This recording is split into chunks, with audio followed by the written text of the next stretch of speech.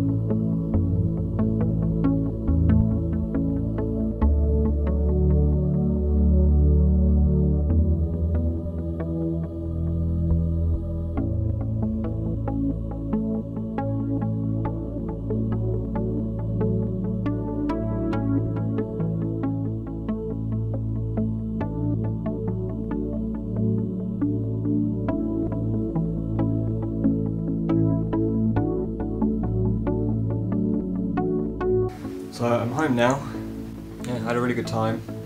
I know that my blank, uh, expressionless face often made Sean worry that I wasn't having fun, but rest assured, I definitely was. I really enjoyed it, uh, seeing the more local aspect of Japan as opposed to the really massive touristy stuff we did last time, so that was good. And that's about it really. Had a good time.